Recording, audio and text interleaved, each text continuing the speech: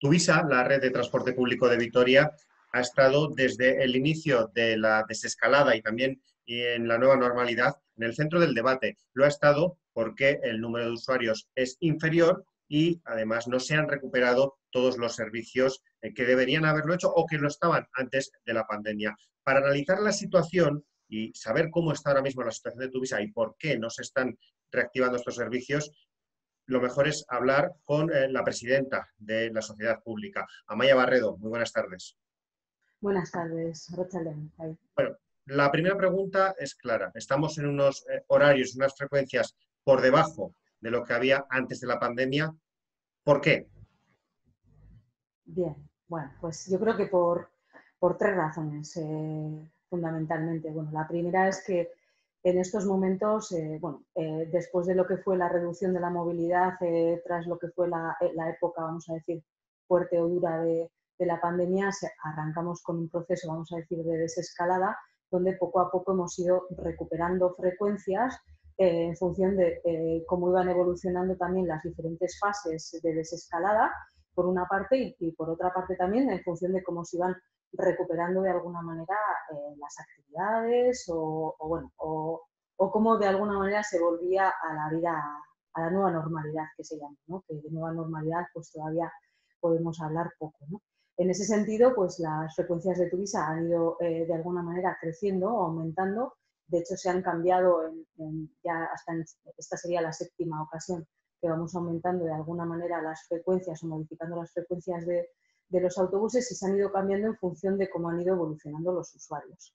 A día de hoy eh, y, con, contando, vamos a decir, eh, finales de junio, porque todavía julio no tenemos completo, podemos decir que en estos momentos estaremos eh, en lo que es el acumulado de usuarios a lo largo de este primer eh, semestre eh, en un 50%, por debajo de lo que deberíamos de llevar eh, al 30 de junio. Es decir, ha habido momentos muy duros en los cuales se ha reducido la movilidad tanto que hemos tenido apenas 4% de usuarios de los que hemos llevado habitualmente y de ahí que los ciudadanos hayan visto cómo los autobuses han ido en muchas ocasiones vacíos. Se, se fueron incrementando, pero vamos a decir, todavía a día de hoy estamos en unas cifras que rondan el 50% de los usuarios que teníamos eh, en este mismo mes, porque siempre la comparativa es relativa al mes anterior. Sí, La razón es la, la reducción de usuarios, vamos a decir. Sí, pero estamos hablando, reducción de usuarios, sí, un 50% menos, pero hay numerosos usuarios que aseguran que ellos no utilizan el autobús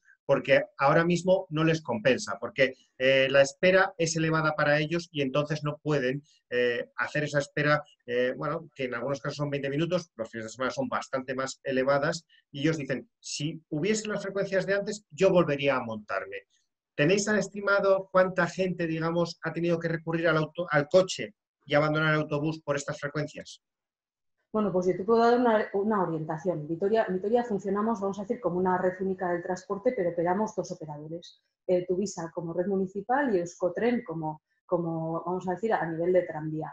Eh, Euskotren es uno de los ejemplos, por ejemplo, que ha recuperado al 100% eh, las frecuencias es, muy diferente, eh, no se pueden comparar los dos eh, medios de transporte porque Euskotren es un transporte de, mucho más colectivo, o sea, tiene mucha mayor capacidad que los autobuses. Pero bueno, para que veas un poco la comparativa, eh, Euskotren está moviendo en estos momentos a un 65% de los usuarios eh, que se movían en, fechas parecidas el año anterior. Y nosotros estamos en un 50%. Entonces, en ese sentido, Nacho, decir que no se ha recuperado en tu visa, puede haber un porcentaje, y no, no lo vamos a negar, de, gente que a lo mejor diga, yo no voy a esperar 15 minutos porque eh, cuando antes esperaba 10 minutos, porque hay cantidad de líneas que están a 15 minutos, a la misma frecuencia que está en estos momentos también en tranvía, y decide coger el vehículo. Bueno, pues está eh, en plena libertad, pero hay un margen como mucho, como mucho de un 15%, que vamos, que yo,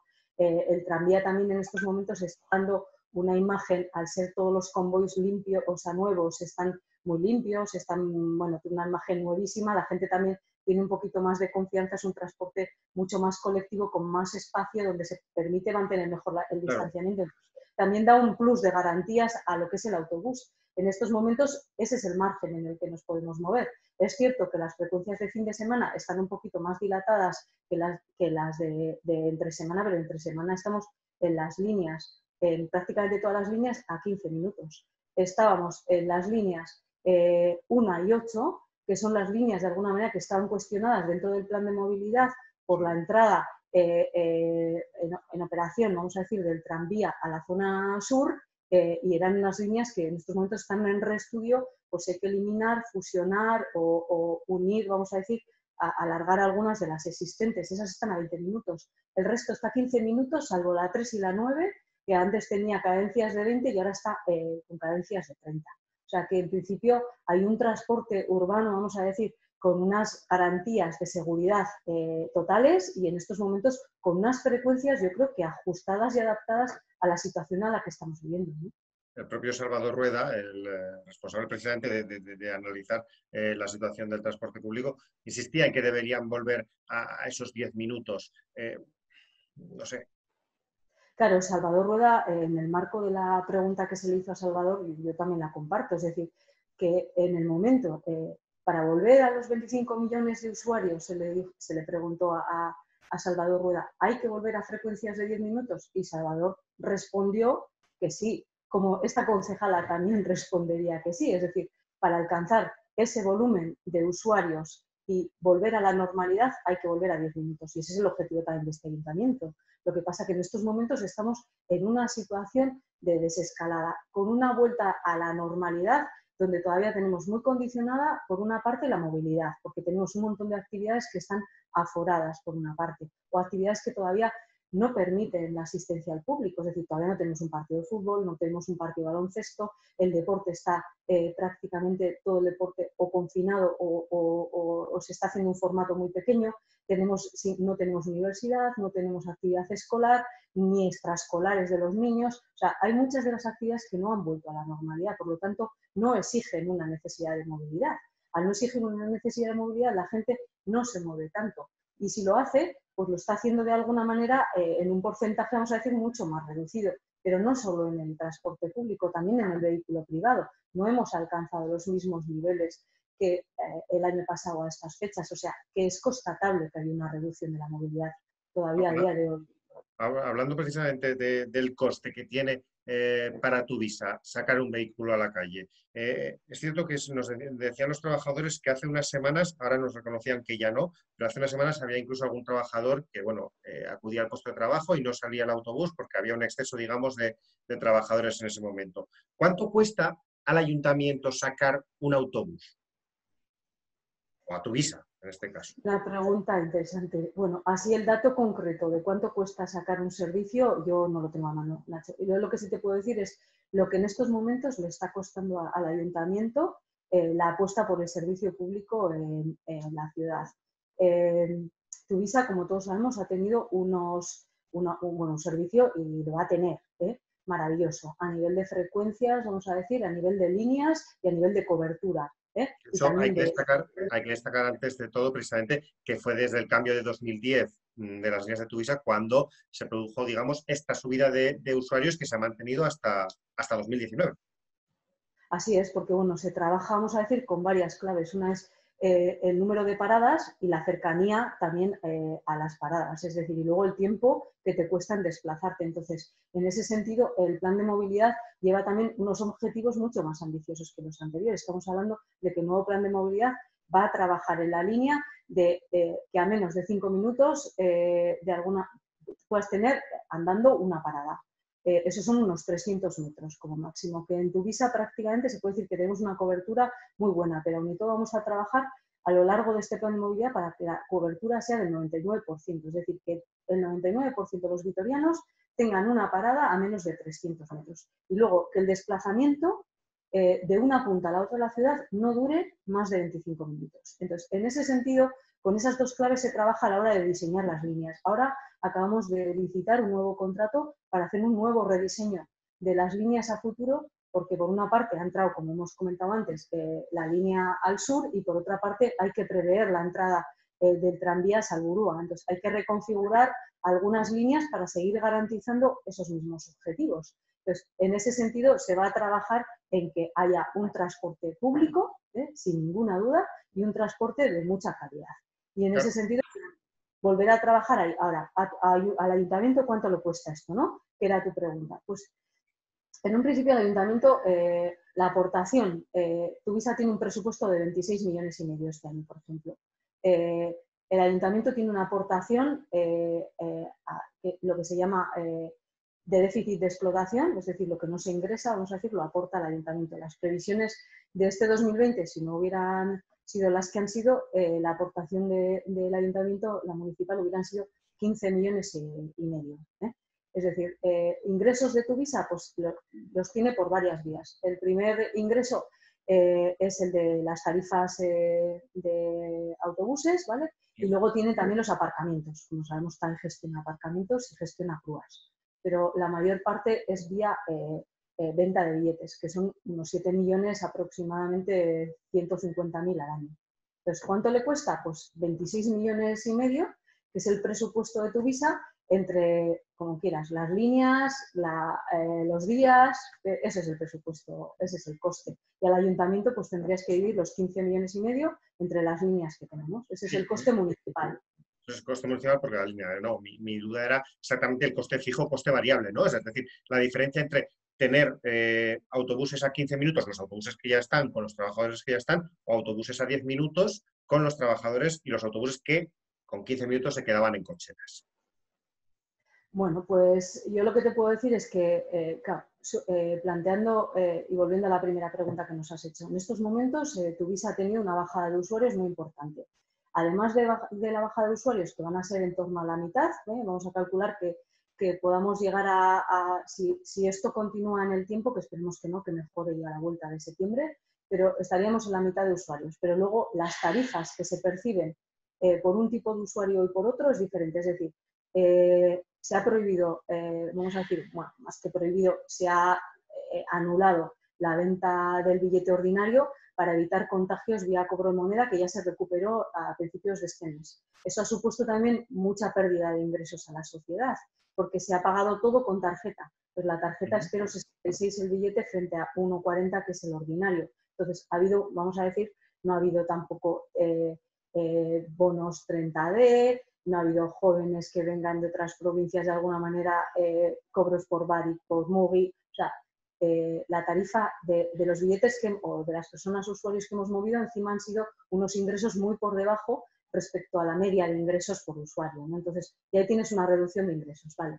Aparte, eh, lógicamente, en estos momentos la sociedad ha tenido pues, unas consecuencias también de la pandemia. Es decir, en estos momentos, a nivel económico, aparte de, los, de las reducciones eh, por billete, vamos a decir, hemos tenido un incremento del costo, eh, o podemos tenerlo, del costo salarial. Es decir, eh, con, las, con el absentismo que ha crecido de una manera importante, a finales de año teníamos un 19% de absentismo, en el 19, 18, por allá andamos, entre 18 y 19. Hemos tenido días a lo largo de, este, de la pandemia que hemos estado al 32. En estos momentos estamos al 24. O sea, es decir, que eso también es un coste importante para la empresa porque eh, las condiciones laborales que hay en tu visa son unas condiciones muy buenas. Es decir, un convenio eh, maravilloso, ¿eh? que, oye, que nadie quiere modificarlo, pero sí que en, estos, en estas situaciones condiciona mucho porque tiene, por ejemplo, una cobertura de bajas del 100% y eso también hay que preverlo dentro del marco de estas actuaciones, ¿no? y además luego tiene unas condiciones este convenio, Nacho, que por, lo, por ejemplo a nivel de cobertura, o sea, de contrataciones temporales está muy limitado. Es decir, el mismo convenio eh, laboral de Tuvis está impidiendo que esta sociedad contrate a más del 6% de la plantilla cada mes, o sea, porque se computa por meses. en situaciones como esta, donde tenemos un absentismo muy alto. Entonces, también estamos muy condicionados por eso. En ese sentido, la mayoría de la plantilla ahora mismo estamos hablando de es una plantilla fija, ¿verdad? Sí, sí, sí, sí. No, no. Y el objetivo desde el primer momento ha sido mantener a toda la plantilla fija y se ha mantenido toda la plantilla. Eh, no había ninguna voluntad de ir a un ERE ni, a regulaciones de, empleo como lo han hecho otras sociedades eh, en, el marco del transporte, sino se ha ido a trabajar de alguna manera soluciones para poder mantener toda la plantilla. Pero tú date cuenta que nosotros a la hora de planificar los servicios tenemos que sacar todos los servicios adelante. Es decir, tú no como usuario no entiendes que de repente falte alguien eh, porque ha tenido una baja y el autobús venga a los 10 minutos o a los 15 minutos y el del medio no venga eh, y se pase uno a 30 porque nos falta un conductor. Entonces, claro, hay que tener en cuenta muchas variables a la hora de definir un, servicio, ¿no? Y esa es una, esa es otra de, las que hay, ¿no? Aparte que, bueno, que podríamos estar mucho tiempo hablando de tu visa porque la verdad es que tiene mucho contenido el tema. Quería hablar, ahora, enseguida vamos a hablar de, futuro, ¿eh? pero quiero, prefiero hablar primero del presente y cerrar todo lo del presente. Eh, gauchoris, eh, ¿no se van a implantar los gauchoris de momento? Eh, pese a que en teoría el ocio nocturno va a mantenerse hasta la una y media, el otro día les planteaban en, la comisión la posibilidad de hacer una mm, apertura parcial de los gauchoris o una implantación parcial de gauchoris. ¿Por qué se descarta esto? Bueno, eh, estamos entendiendo que en principio eh, el ayuntamiento lo que sobre todo tiene que dar es un servicio y un buen servicio a lo que son las actividades, vamos a decir, obligatorias o esenciales o de alguna manera necesarias. ¿no? Es decir, yo mm, necesito desplazarme al trabajo, necesito desplazarme a, no sé, pues a una actividad, eh, eh, yo que sé, al médico, a, diferentes actuaciones. Entonces, hay que ir recuperando las frecuencias poco a poco de las actividades esenciales en función de cuando, de alguna manera, eh, se vayan incorporando otras actividades. El gauchori, vamos a decir, da servicio al ocio nocturno fundamentalmente y al ocio nocturno y unos vouchers que en estos momentos nosotros por convenio tenemos que atender ocho horas. Es decir, no, no tenemos tampoco posibilidad de decir, pues saco el gauchori cuatro y media. Porque no, no la plantilla trabaja ocho horas, eh, Nacho. Entonces nosotros podamos todo el servicio de gauchori nocturno o no tenemos formulación en estos momentos para regular dos horas, tres horas, un incremento hasta las dos de la mañana. O, o sea, nosotros tenemos que jugar con las herramientas que tenemos y las herramientas que tenemos se, llaman convenio de tu visa y condiciones ¿Es posible eh, una negociación en este sentido, por ejemplo, también incluyendo eh, los próximos días 6, 7 y 8 de agosto, el convenio establece que antes de las 8 no empiezan los primeros servicios, cuando en teoría va a haber trabajadores que tengan que acudir a las 6 de la mañana porque muchas de las empresas van a seguir trabajando de forma habitual. ¿No es posible eh, un diálogo, una especie de negociación entre sindicatos y, empresas?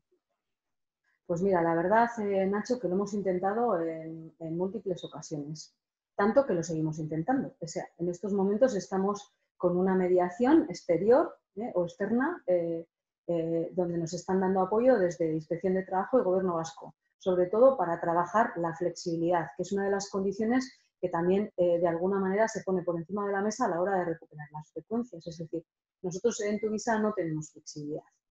¿Flexibilidad qué significa? Que no podemos cambiar eh, las jornadas de trabajo de las personas trabajadoras. Hay otras sociedades de transporte como de bus o como Euskotren que tienen un mínimo de día regulado por trabajador a nivel de que la empresa pueda de alguna manera eh, modificar algunas de las jornadas por trabajador. Tu visa lo tiene bloqueado por convenio. Es una de las primeras eh, razones por las cuales de alguna manera se puso en la, mesa la necesidad de negociar cuando apareció eh, la primera ola de la, pandemia.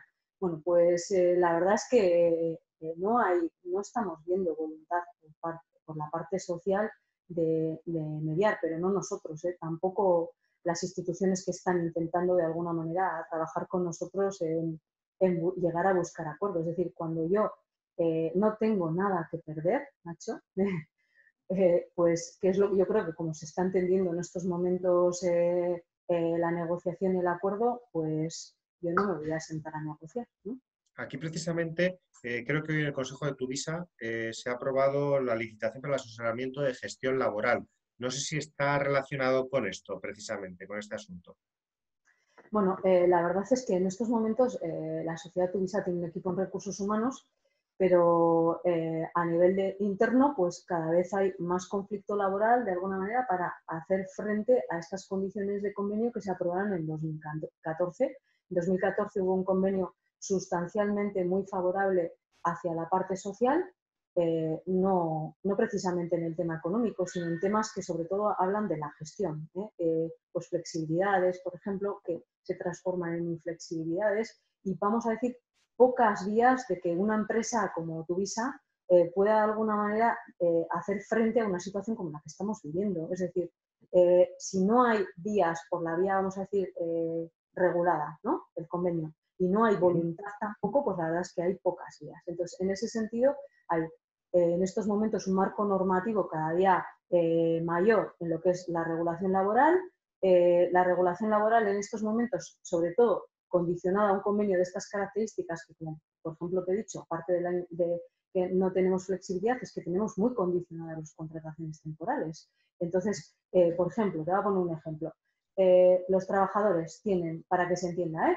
Tienen a lo largo del año cerradas, vamos a decir, dos meses y medio de sus vacaciones y excesos, ¿no? que es un mes de vacaciones más 15 días de, de descanso, vamos a decir, por trimestre. Pero luego tienen unos 16 días de media de permisos, asuntos propios, varios. Esos días no están reflejados en el calendario. ¿Y cuándo se cogen por su parte? Pues se cogen en un 75% al final de año. ¿eh? Entonces, claro, es muy difícil regular una plantilla de tanto volumen cuando, por ejemplo, hay que liberar 4.000 jornadas de las que están asignadas eh, eh, para que trabajen en la última parte del año. Entonces, está condicionada la contratación temporal está condicionada la contratación por día. O sea, no hay herramientas tampoco para articular esto eh, y, más aún en este año que de alguna manera eh, no se han cogido ningún asunto propio, no se han cogido vacaciones, o sea, se han todavía más demorado eh, a, la espera de que, que es muy loable también, de que la situación mejorase y que pudiéramos disfrutar todos de los asuntos propios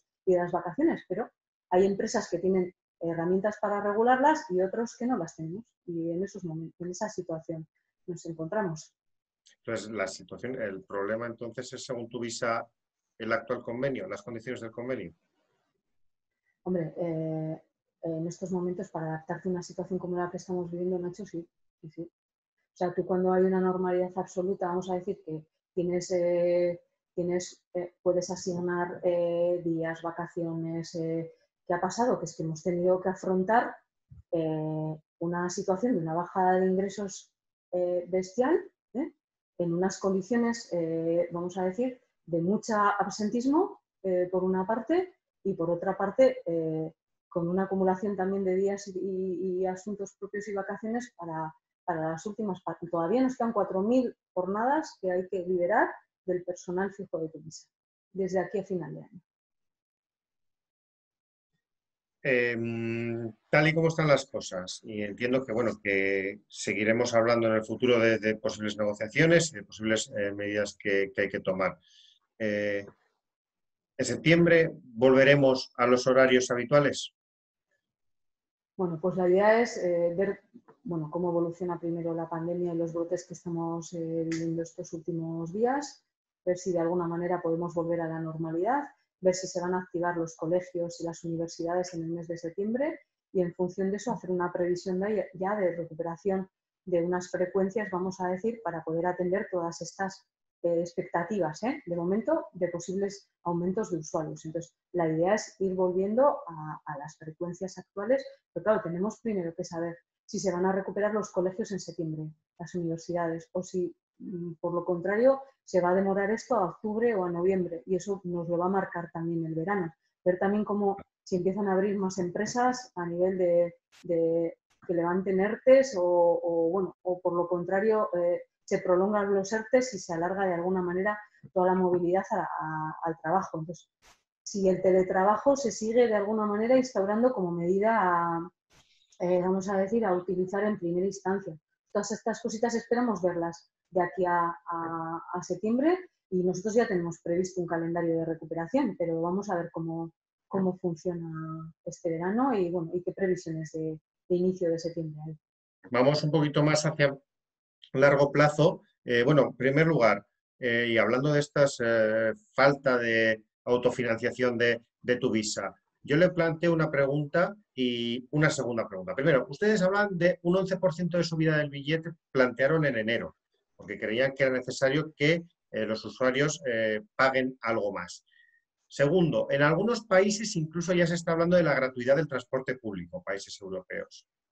¿Cuál es la disyuntiva en este caso? ¿Podría llegar Vitoria a apostar por seguir financiando bastante más del transporte público precisamente para fomentarlo a más barato, más usuarios? Bueno, pues yo creo que la gratuidad eh, hay que explicarla. Es decir, eh, no hay un transporte público gratuito. El transporte público cuesta un dinero. Entonces, lo puede pagar el usuario vía tarifa, lo puede pagar vía impuestos. Entonces, eh, lógicamente, si tú vas a un transporte gratuito, eh, lo tienes, o sea, tienes que percibir ese ingreso de alguna manera por otra vía. Entonces, hay países que lógicamente tienen unos impuestos muy superiores a los que tenemos nosotros eh, a nivel de, comunidad autónoma o a nivel de territorio. Entonces, ahí esa línea de trabajarla, vamos a decir, hay que trabajarla conjuntamente, por lo menos a nivel de territorio, porque lo lógico sería que se viniera vía financiación eh, impuestos y no tarifas. Eso significa que en vez de pagar el usuario, pagamos todos. Hay países donde se paga a medias, como nosotros, o sea, pagamos, bueno, a medias, eh, un 70% del transporte público lo estamos pagando todos los vitorianos ¿eh? y un 34% escasamente, que no llega al 34%, lo está pagando el usuario. Entonces, ese es el juego y ese es el equilibrio. Es decir, nosotros en estos momentos como Vitoria tenemos una de las tarifas más bajas de toda España. Una de las tarifas más bajas que viene en muchas ocasiones condicionada por la dificultad de llegar a acuerdos dentro del Consejo de Administración de esta sociedad, porque es una reproducción del Pleno. Es decir, aquí en esta ciudad nunca hemos tenido eh, mayorías, eh, normalmente eh, hay que llegar a acuerdos prácticamente para todo y el transporte público y, subir las tarifas del transporte público pues no es nada que guste a casi nadie. Entonces suele ser muy difícil llegar a acuerdos. De hecho, en los diez últimos años prácticamente el transporte público creo que solo en dos ocasiones se ha subido, ni siquiera se actualiza el IPC. Pero lógico sería plantear por lo menos una tarifa y decir, bueno, pues a partir de ahora actualizamos IPC o actualizamos cada dos años IPC, ¿no? Porque a veces, eh, pero Vitoria tiene unas tarifas que van desde 0,08 céntimos, o sea, 8 céntimos, hasta 1,40. En estos momentos tenemos un tranvía que ya nos lleva 13 céntimos de diferencia respecto al transporte público urbano. O sea, ya los ciudadanos vitorianos ya no pagan lo mismo por ir en transporte urbano que por ir en tranvía. Entonces, lo primero que deberíamos de plantearnos es de alguna manera tener un transporte con un único precio en toda la ciudad. Y esa es una de las propuestas que se ha hecho, por ejemplo, a los grupos políticos para su análisis. Y de momento no tenemos, no tenemos respuesta de, ellos. Entonces, eh, para ver el futuro del transporte público en Tuvisa, eh, la viabilidad futura, ¿qué es lo que hay que hacer? ¿Hay que optimizar? ¿Hay que incluso que externalizar algún servicio? ¿O simplemente bastaría con subir esas tarifas? Hombre, yo creo que lo primero que hay que hacer es ajustar el servicio a, un buen servicio. ¿eh? Es decir, lo que te he dicho al principio, vamos a trabajar ahora en un nuevo estudio para reconfigurar las líneas, para ir caminando de alguna manera y ahora ya eh, desde el punto de vista positivo vamos a dejar un poco atrás la pandemia, el futuro.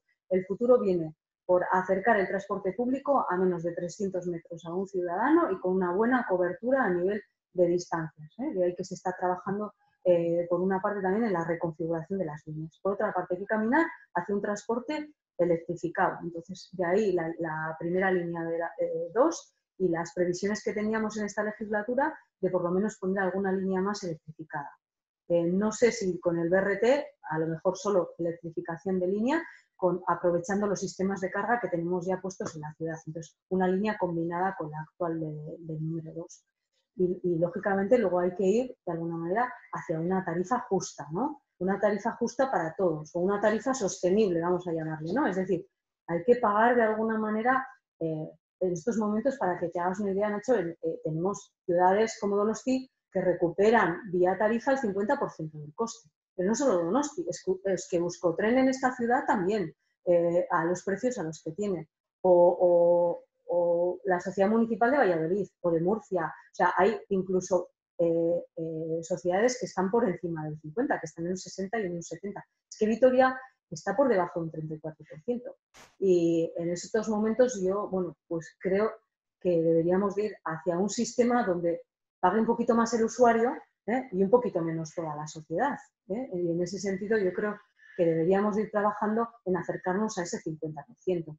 Entonces, eso también le daría un colchón financiero a la sociedad para afrontar estas situaciones, como la que hemos vivido de la pandemia, y para invertir, porque en estos momentos también el que invierte es el ayuntamiento. Es decir, toda la renovación de, la flota ahora de, los buses nuevos que se han comprado para el BEI los ha comprado, eh, los hemos comprado dentro del convenio con, con Diputación y con Gobierno Vasco, pero que tu visa debería de ser capaz de mantener la renovación de la flota y tenemos una flota pues que en algunos autobuses pues están ya con una edad bastante avanzada y que, requieren ser sustituidos. En los últimos compras de autobuses de híbridos también se tuvo que recurrir a, crédito. Ah, eh, tengo la sensación, Amaya, de que eh, hay un doble debate y de que al final la pandemia ha acelerado algo que se lleva años retrasando. No sé si es así.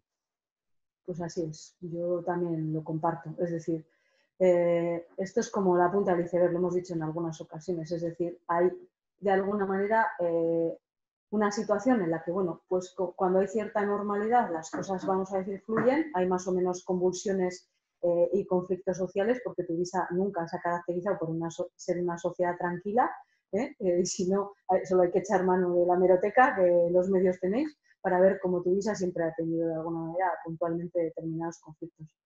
Pero es cierto que en situaciones como estas, donde, hay una, donde se agrava un poco la, y se reducen los ingresos, pues la, la sociedad sufre mucho, pero mucho. Y en estos momentos se está viendo también pues toda, pues vamos a decir, toda esa inflexibilidad que tiene el convenio que no nos da margen de maniobra para prácticamente nada. Y entonces, pues estamos de alguna manera eh, remando eh, pues en un mar de turbulencias, ¿no? Pero bueno, pero vamos a remar, ¿eh? O sea, yo estoy convencida que esta situación vamos a salir. Es cierto que hubiéramos salido mucho mejor si hubiera habido una colaboración por, parte, por la parte social y yo lo que sí quiero es pedirle un poquito de comprensión a la ciudadanía de que vamos a recuperar las frecuencias, de que vamos a volver a un transporte público de muy buena calidad, pero que este año, pues, mm, dada la situación económica y que también el ayuntamiento ha, tenido que ajustar su presupuesto, lógicamente, pues que necesitamos un poquito eh, de, aire para poder salir de esta situación, que, que vamos a salir de ella perfectamente. Los sindicatos mantienen que, bueno, que casi más del 90% ¿no? está vinculado al convenio que tienen con el ayuntamiento. Ellos insisten en que esos privilegios, que, bueno, privilegios, esas eh, cuestiones favorables, tan favorables para ellos, no son tales. Eso es lo que, lo que insisten ellos. Eh, al final es eh, la opinión de Tuvisa, la opinión de la parte social. Nada, solo hay que mirar los dos convenios y compararlos, el municipal y el de Tuvisa. Y el de Tuvisa es sustancialmente mejor que el del ayuntamiento y nada más, están, son públicos, o sea, eso los puede, los puede consultar cualquiera. O sea, que en ese sentido, a nivel de horas y de jornadas eh, es parecido, pero eh, luego pues tiene una serie de pluses, de, beneficios también que elevan de alguna manera el salario bruto medio de, por ejemplo, el colectivo de conductores preceptores, que está por encima de 36.000 euros, respecto a un puesto de esa misma formación y características en el ayuntamiento. O sea, que bueno, que es público y se puede consultar no, yo ahí no voy a hacer ninguna valoración más. De acuerdo, Amaya, por terminar, ¿cuándo veremos algún cambio en alguna línea de tu visa? Esto que nos ha comentado la línea 1, la línea 8, ¿cuándo lo podremos ver?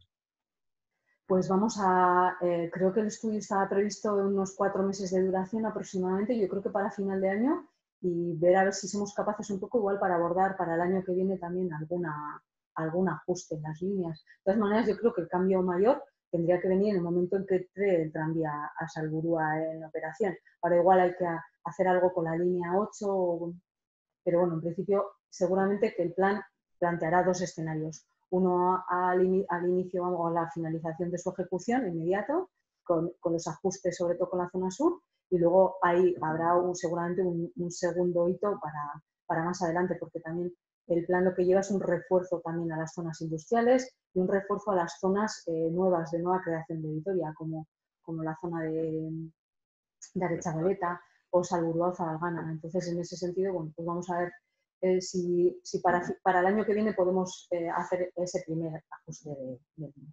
Ajuste en términos laborales siempre suele venir, suele ser la palabra recortes, ¿no? En este caso sería recorte no, no tiene por qué. Es que eh, el objetivo, eh, como te he dicho al principio, eh, Vitoria opera con una red única de transporte.